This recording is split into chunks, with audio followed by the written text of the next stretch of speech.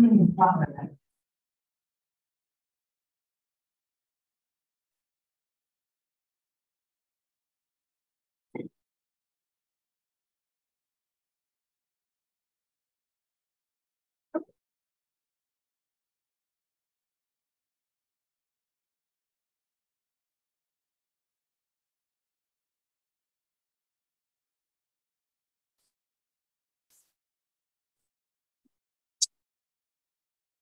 Okay, there should be a roll sheet going around. Let's do quiz questions here. I think I got the owl for Wednesday night.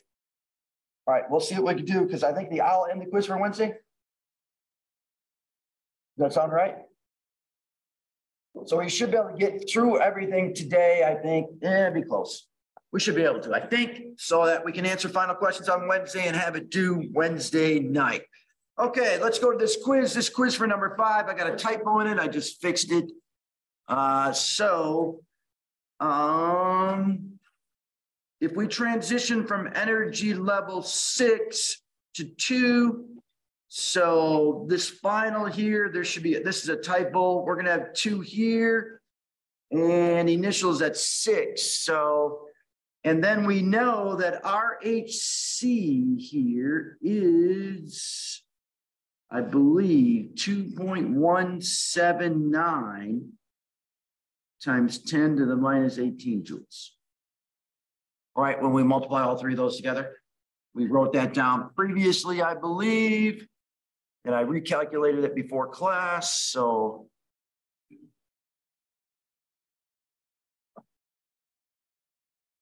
Now I have it in joules per atom and I have it in kilojoules per mole.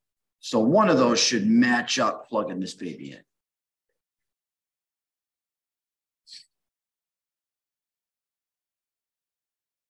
All right, number 10. Okay, I'm going to zap this out real quick and show you how this works. I have max electrons is equal to 2n squared, but let me show you that.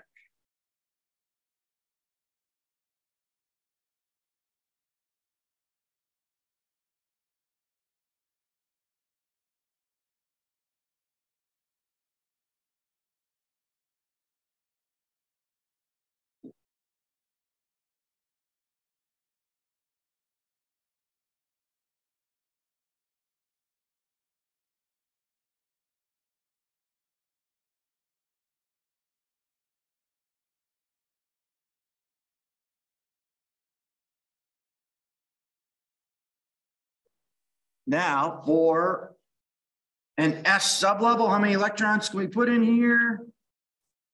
Two, correct? Two electrons for an S.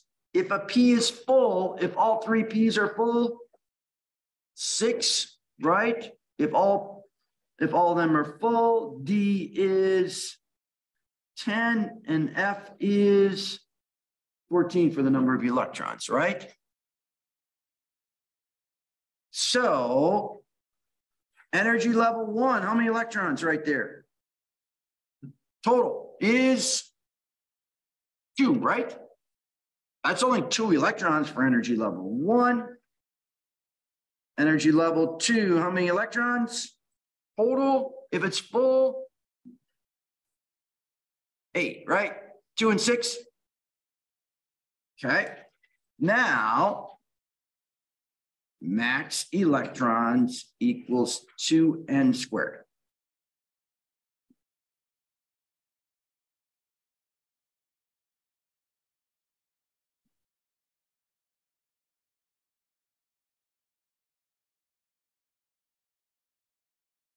Energy level one. If I put a one here, one squared is one times two is two, right? Energy level two, if I put a two in here for energy level two right here, and this is N, right? This is my level. If I put a two in here, two squared is four times two is eight, eight, right? If I put a three in here, what am I gonna get? Three squared is nine times two is 18, right? Which should make sense because this is two six for eight and 10 here is 18. Oops, wrong color, 18. If I put a four in there, what do I get? Four squared, 16 times two is 32, which makes sense because then you're gonna have an SP, D, and F. If I add all these up, I'm going to get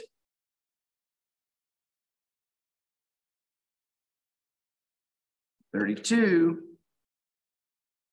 Now, I'm gonna be missing another sub-level, but let's just, just put a five in here.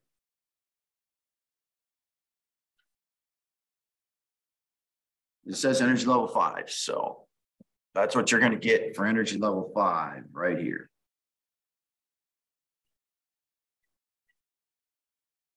So we'd have to keep going on this thing. Okay, that's 10. We'll look at 24. 24, I don't think I signed, but I'm going to answer it anyway. So in 24, all right, 24. What is the electron configuration notation of cell? This would be called selenide. And if we just have a neutral selenide with no charge,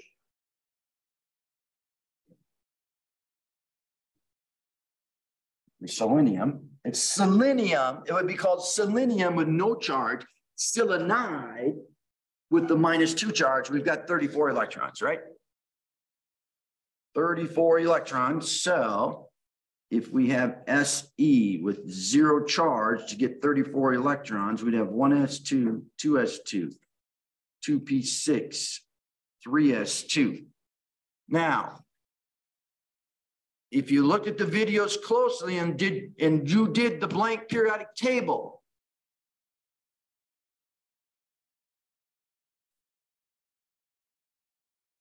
what is the ending electron configuration notation going to be?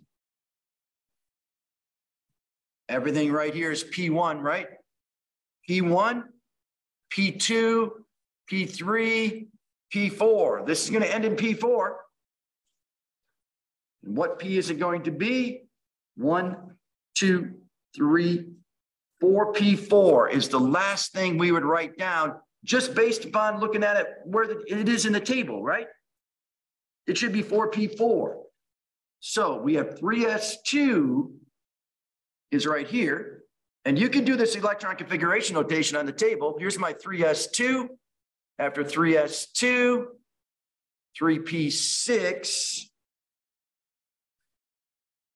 and after 3P6, 4S2 to here. After 4S2, this is 3D1 through 3D10. So 3D10 and then 4P. 4.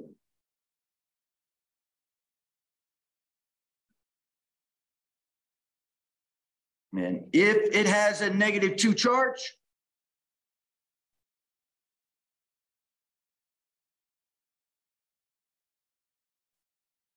we got to add two electrons, right? It's gaining two electrons. So we're going to end up with 4p6, 4p6. 24, that does 24. 38, we're going to look at.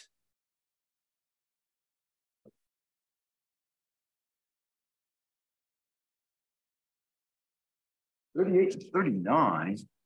Okay, 38.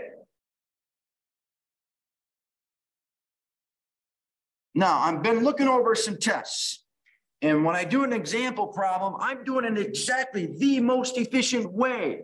And, but I don't see that on people's tests when they get the problem wrong. And I just see numbers. I don't know, just, I don't know. Now, when I write this down, Please follow it exactly. This will be the most efficient way. This is a great review for the final. And that's what these questions are. 34 to the end are great reviews. What volume of 0.200 molarity sodium sulfate? So I'm looking for this right here. I can do it in liters and I can change it. And I know that this is 0.200 molarity. will completely react with 50 milliliters. I'm going to change this to liters. So point zero five zero zero liters. Let me zoom this in. And my molarity is 0.135.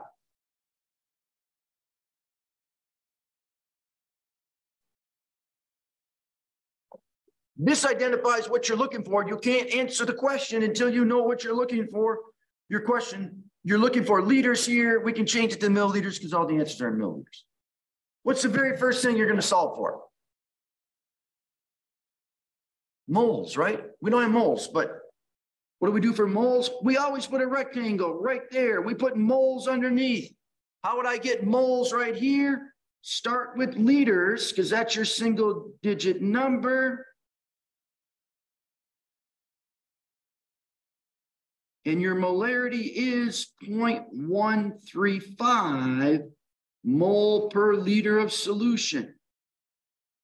There is our starting moles.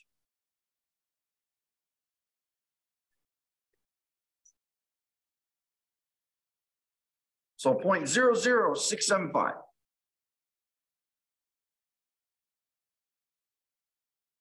That's in moles, right? What's the next thing we have to do? Is figure out how many moles of sodium sulfate we're going to use up.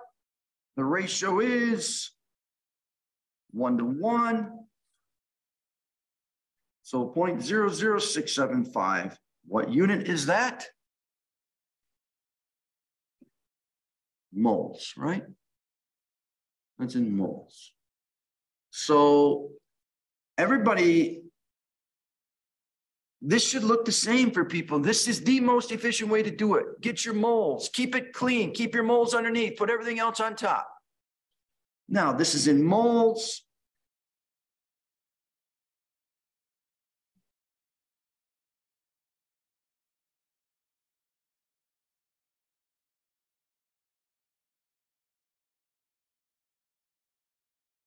That's molarity. But I need to flip these units. I'm going to put my 0.200 mole down here and my liter of solution on top so that moles cancel out. And I'll change this liter of solution to 1,000 milliliters.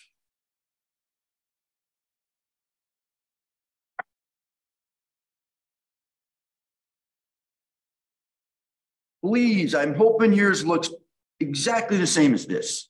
I'm writing the word flip. We're flipping these units. Okay, 39 is next. What mass grams? I see the word molarity. As soon as I see molarity, I know this is my double unit number of mole per liter. So I want to change this to liters.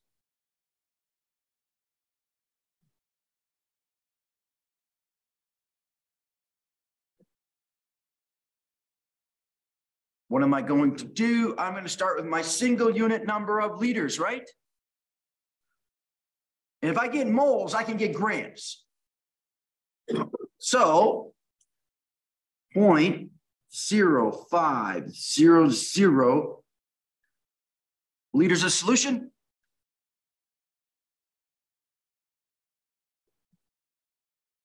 This is my double unit number of moles over liters. So I know liters is going to cancel out.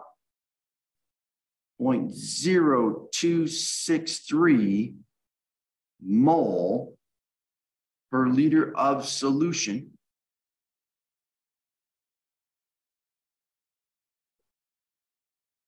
And I should have put this in, but I know I'm dealing with NAI.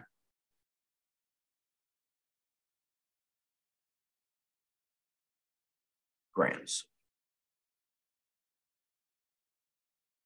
Don't memorize formula, memorize units. And here I'm not going to flip these molarity units because I need liters to cancel out, right? I need liters to cancel out.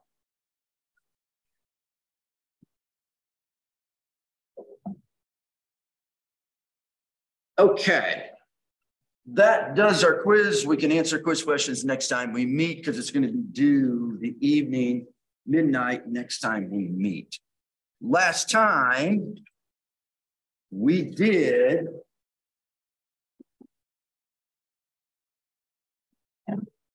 we did arrow notation and we had to follow Hund's rule. And Hund's rule says one electron in each orbital of the same spin before they pair up. So if you have a P3, if you have a P3, one electron in each orbital of the same spin before they pair up. Now, this spin here actually represents which way the magnetic field points, but that's for a different class. So P4, or excuse me, P3, this is a D5. If I had an F, let's say I had an F6, how many F orbitals are there? How many F orbitals are there? Seven, right? So if I go one, two, three, four, five, six, seven.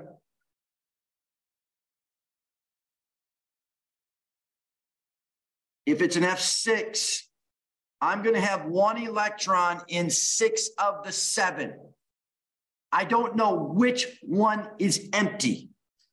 It takes the same amount of energy to put an electron in all seven of those. You do not know which one's empty. Just to make it easier, I just do it left to right. So you're going to have one electron in each orbital of the same spin. So an F6 would look like this. Or all six of those could be pointed down. That would make them the same spin. All six up, all six down.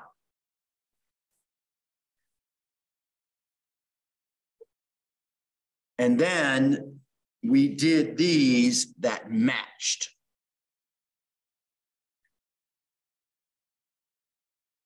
And down here, I could not get all of this on a sheet, so.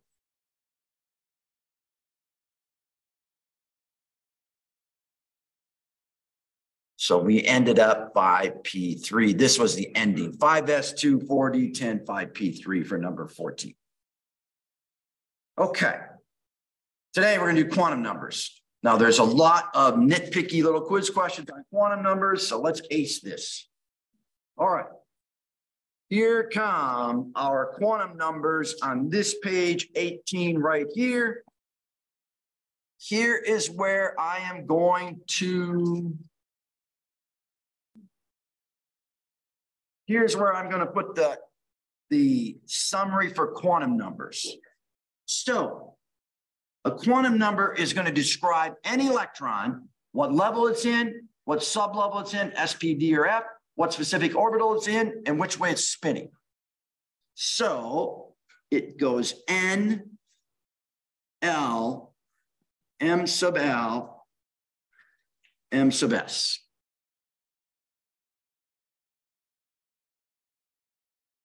This first letter, first number, excuse me, is what energy level it is in.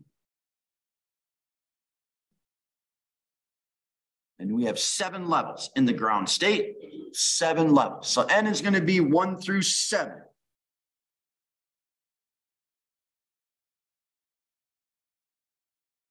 L is our sub level. And these numbers are just locked in zero if you're in an S, one for P, two for D, and three for F.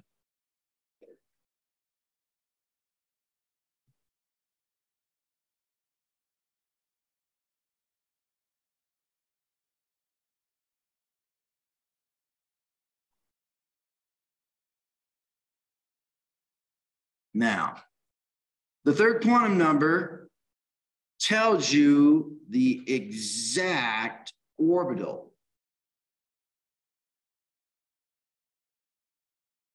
Going from minus L to plus L. Now you might say, what the heck does that mean?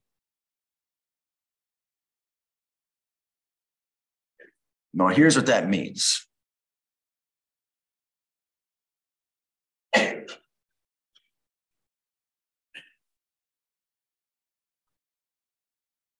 If I have a P sublevel,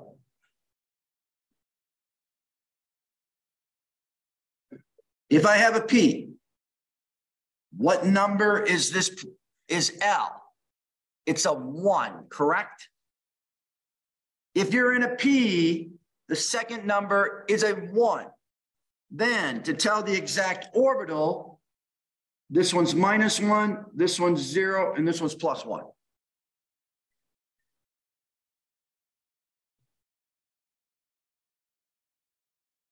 If I have a D,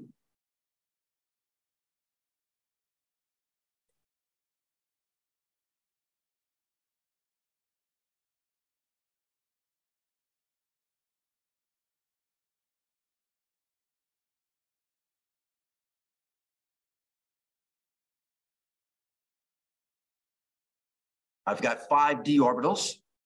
If I have a d, my second number is a two. So it would go negative two, negative one, zero, one, two. Right? That gives us five orbitals. Negative two, negative one, zero, one, two. And then the final one, if we have an F, it's one, two, three, four, five, six, seven.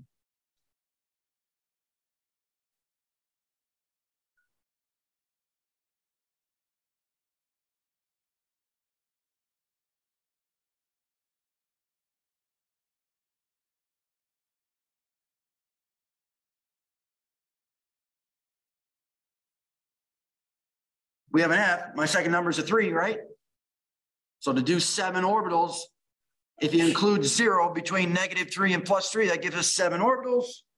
We have negative three, negative two, negative one, zero, one, two, three.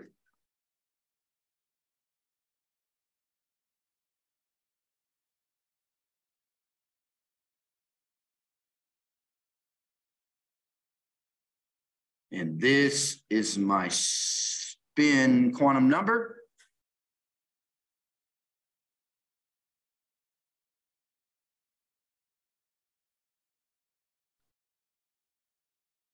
We get an up arrow. If this is spinning counterclockwise, that's my positive one half. We have a down arrow for clockwise. So it's either plus one half or minus one half. So I'll do quantum numbers here. You'll see, ah, that's pretty easy. And it is. Okay. So again, four numbers. It's going to tell us exactly what level. It's going to tell us a sublevel, an S, a P, a D, or an F. It's going to tell us the exact orbital and which way it's spinning. Here we go. If I do this electron right here,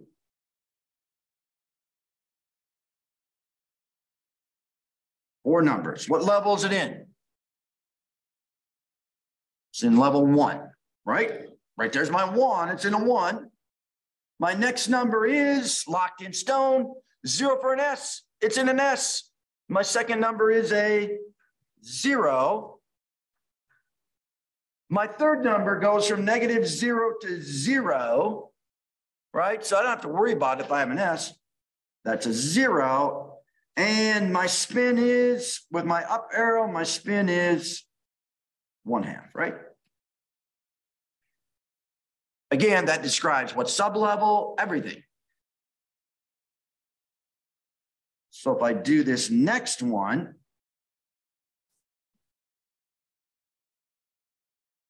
I'm going to have one, still level one, zero, zero.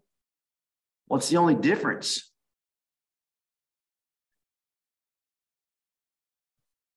Spinning the other way, right? So therefore, there's a question that says, how many quantum numbers can an electron have, or can an uh, electrons in the same orbital have in common? Three. Three. The first three are going to be the same. If it's only the spin that's different, it's only the fourth one that's going to be different. Now, sometimes you might see it like this. What level are we in? We're in level two. The next number is locked in stone. Zero for S, one for P, two for D, three for F. Zero because we're in an S. Third number zero. And sometimes you'll see this. If you do plus and minus one half, that does both electrons. The only thing difference is the spin, right?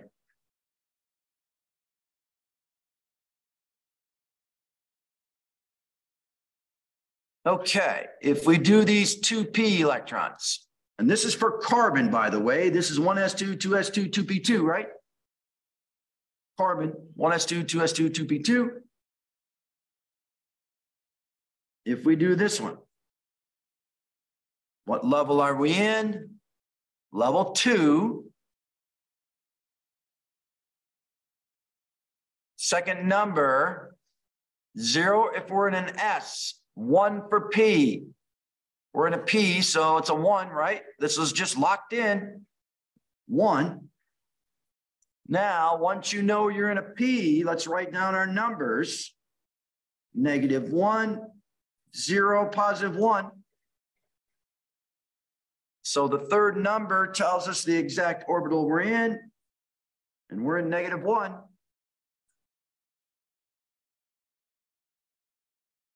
And the spin is one half. How's that? Looking easy? Easy peasy. All right. I mean, quantum number sounds complicated. Look at how easy this is. Here's the next one. What level are you in? Two. One for the P. This time you're in zero. All right, this electron's the exact orbital, the middle one's zero. And then we got one half.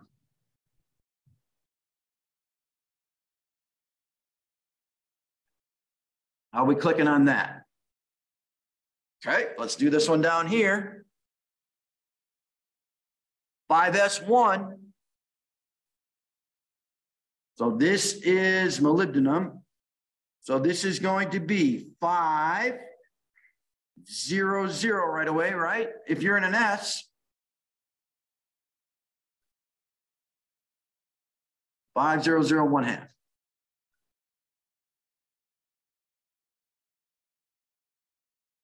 45. We do this electron. What level are we in? Level four.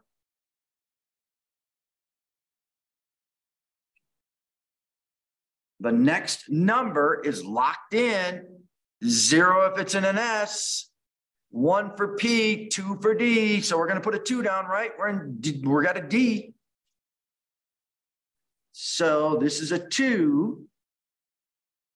Once that's a two, let's do our specific orbital numbers. Negative two, negative one, zero, one, and two, right? And this one is in negative two for this one, one half. Now, the only thing that's going to change is my red number, right? Everything's the same. All of those are in a 4D. All of them are spinning the same direction because they're following Hund's rule.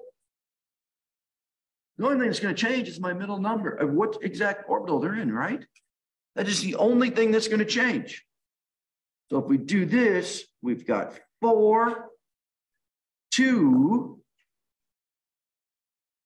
negative one,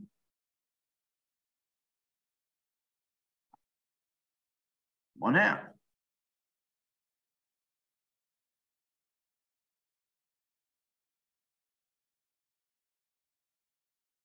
Four, two, zero, one half.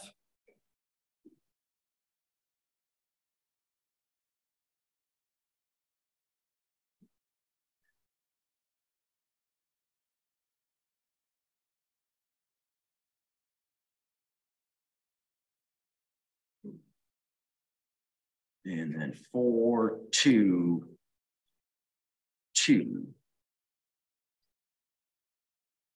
one half.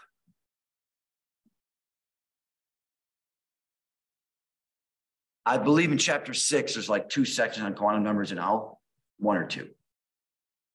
So I'm hoping I, there's one full set of three for sure, something like that. Okay, so I think you can do quantum numbers. Sounds complicated. All right, quantum numbers, I think you can do those now. Let's go to uh, this section right here.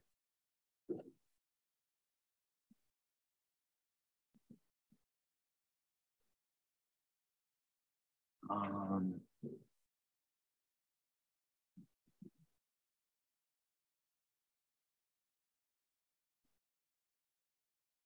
quick question. We talked about this. Anybody got this notation on theirs? No? All right, I didn't think so. Okay, yep. All right. Let's look at this.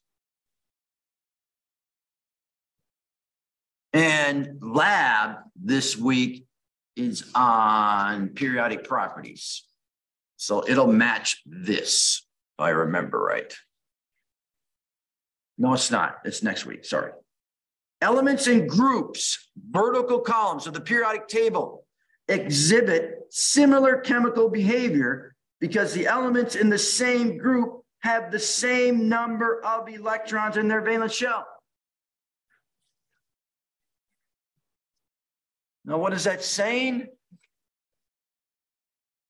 What does everything in group one want to do in order to be more stable? It wants to get rid of one electron. What ion does it form? A plus one ion. If it gets rid of one electron, it has the same outer level electrons as the noble gases. The same valence electrons as the noble gases. This one has two valence electrons. How many valence electrons for these? Eight, right? That is the most stable configuration.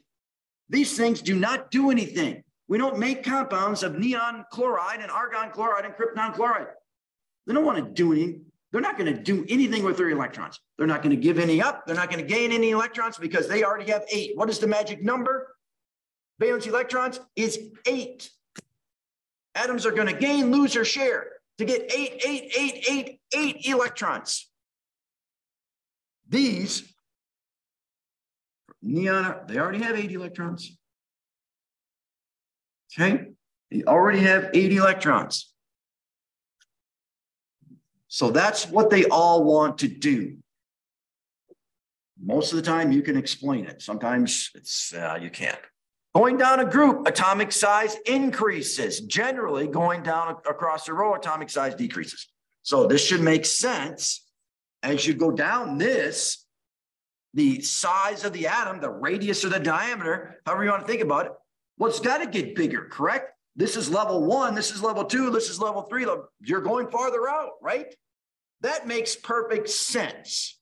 Now, because it's chemistry, we put the word generally in here. Going across a period, atomic size decreases. So what we're saying in that is if we go from lithium to beryllium to boron, carbon, nitrogen, oxygen, fluorine, neon, the atomic size generally decreases. generally.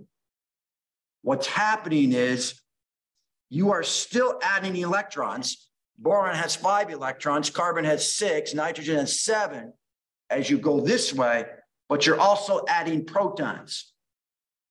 Five protons, five electrons, six protons, six electrons, but they're all in the same level. We're still in level two. So as you add protons, it's able to suck those electrons in a little bit more because they're attracted to each other, right? The positive nucleus, protons in the nucleus are attracted to the negative electrons. So generally going across the row, atomic size decreases. Okay. And Al does quite a few. In fact, I've got some here. Fact, let's do, let's do this question now using only the periodic table. Now, is there atomic radius on the periodic table? Yes. On the back side, whole atomic radius right here, 1.53. Now, using only the periodic table, arrange the following in order of increasing atomic radius. First of all, figure out where the heck are they? Krypton, xenon, helium, neon. Where are they? What group are they in? They are in group. They're in group 18, right? And in group 18, we have helium, neon, argon, krypton, xenon.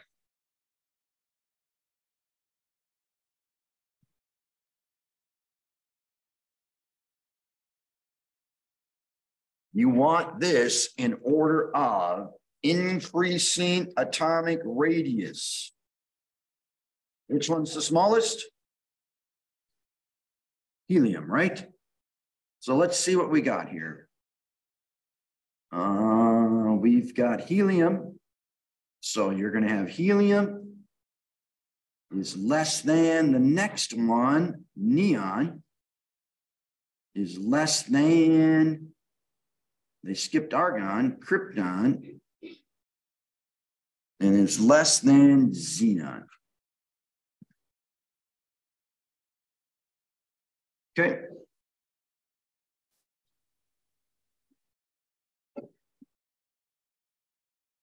All right. The next section says this the amount of energy needed to remove the most loosely bound electron from a gaseous atom in its ground state is called the first ionization energy. Think about just, you're just trying to pull away an electron from the atom. Now, going down a group, ionization energy decreases. It gets easier and easier and easier to pull an electron away which should make perfect sense to you. How many valence electrons for everything in group one? One electron. If I take cesium, that electron is way out in energy level six. That one valence electron, this is 6s1, correct? That electron is being attracted to the positive nucleus. But it's way farther out compared to lithium.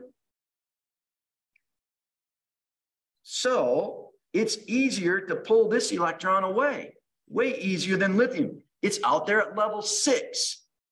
So there's two things happening. One is it's farther away from the positive pole of the nucleus. And the second thing is it's a shielding effect of a bunch of electrons in between it. So it would make common, common sense going down a group, ionization energy decreases. Now, I'm going to show you a video of that. And this is periodic properties that we do in lab coming up.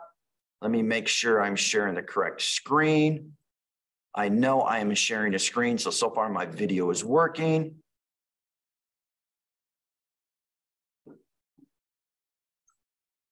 Oh, I'm going to try this. Okay alkali metals, lithium, sodium, potassium. There are six alkali metals, lithium, sodium, potassium, rubidium, cesium, and francium. They're all soft metals which can be cut with a knife. You're going to work with lithium, sodium, potassium in lab. In air, the elements quickly become coated with compounds that form on the metal's surface. Here, for example, is lithium. When we slice it, you can see the metallic luster, but the black coating quickly reappears. Sodium is kept under oil to prevent reaction with air.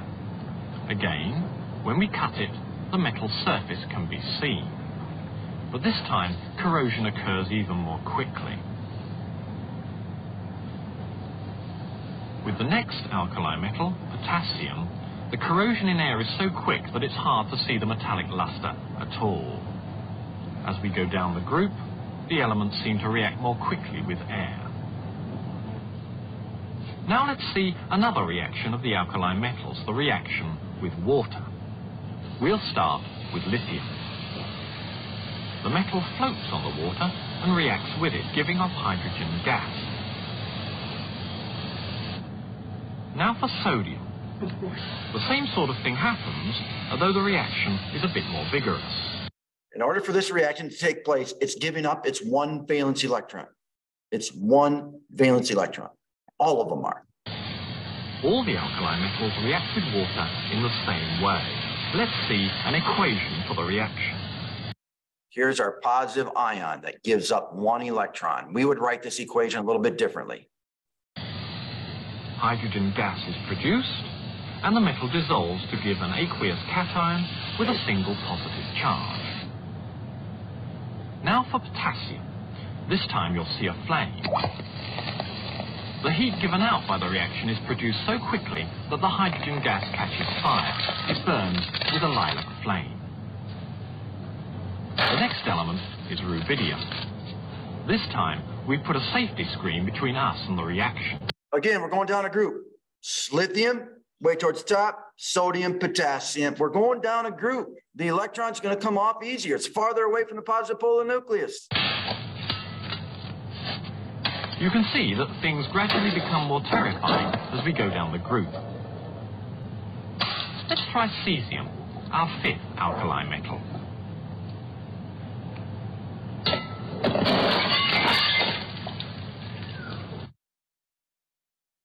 And then you, you can find all kinds of stupid videos of people launching way. a pound of sodium in a lake or just doing stupid stuff. But um, that's all out there. Okay. So going down a group, it would make sense that we can give up that electron much easier. And let's go to the next section. Again, we're talking ionization energy to remove an electron going down a group. It gets easier and easier and easier. Going across a row, it gets harder and harder. Because as you go across these rows, they want electrons, right? In fact, what does chlorine want to do to become like argon? It needs one electron. It's not going to like it if you're trying to pull one away. What does potassium want to do to become like argon? It wants to get rid of its one valence electron anyway. So as we go across, it takes more energy to pull away an electron. So I'll question number two, using only the periodic table, it's not telling you to look up the values, but you to look them up. Arrange the following in order of increasing ionization energy. So where are all of these? These are in group one.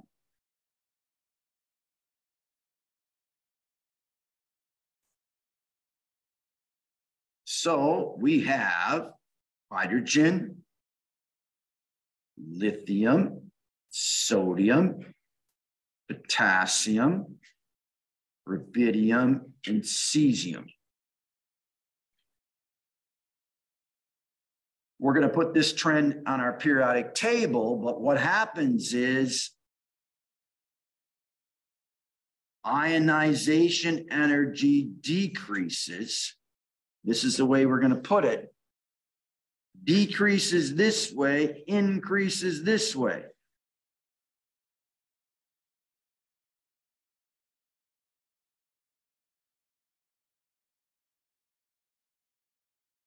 Think of the energy to pull away an electron.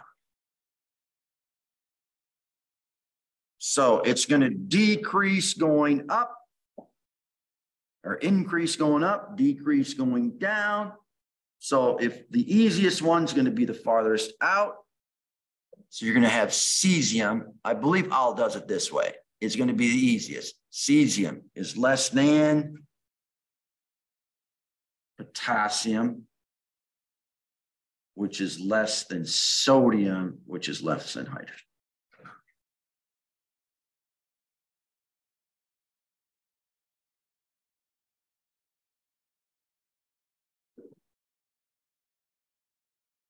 And one last periodic trend is electron affinity. Electron affinity is the energy change for the process of adding an electron to a gaseous atom to form an anion, a negative ion. Now, which one of these won an electron? These over here that form negative ions, right? These over here. So the electron affinity over here the amount of energy needed to add an electron is going to be less. So going down a group, electron affinity increases. It's going to be harder to push an electron into that atom as the radius gets bigger and bigger away from the positive pole of the nucleus. But as you go across, it's going to get easier. So grab your periodic table. Let's put these trends on there. So grab your blank periodic table and draw an arrow like this down, and then we'll summarize it right here. Down a group.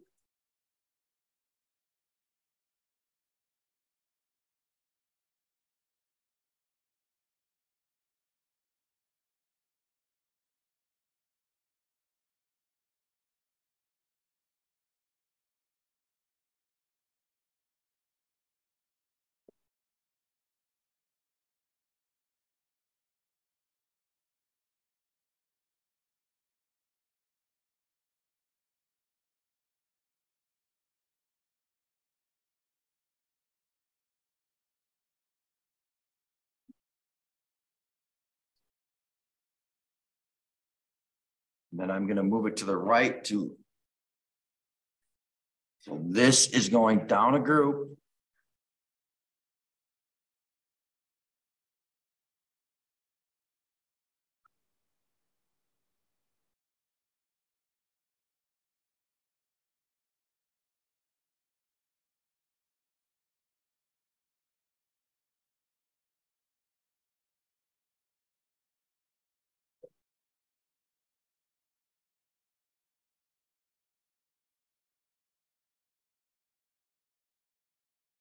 So if you get an out question, up a group, you would change this word, right? Okay, so going down, this is what happens. And I move it to the right.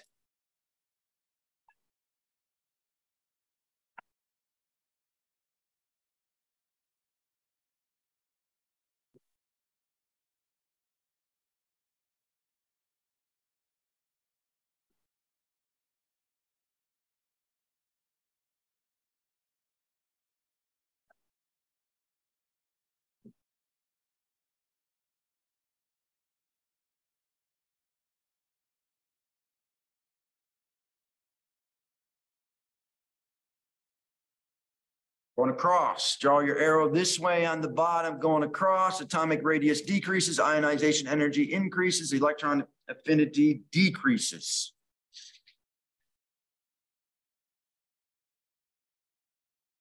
And I think this will get us through chapter six. I'm going to have to change the due date. It's not going to be Wednesday for the quiz, which is fine. I have to give you more quiz questions to do.